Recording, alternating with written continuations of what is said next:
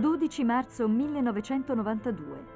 Il parlamentare democristiano Salvo Lima, leader della corrente politica capitanata da Giulio Andreotti, viene ucciso dalla mafia a Palermo.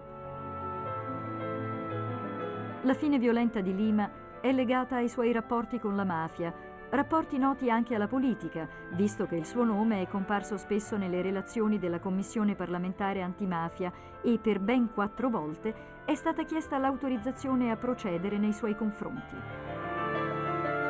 La vicinanza di Lima ad Andreotti alimenterà le accuse di associazione mafiosa anche per il senatore a vita, che a conclusione del processo di Palermo nel 2003 verrà assolto per i fatti successivi alla primavera 1980.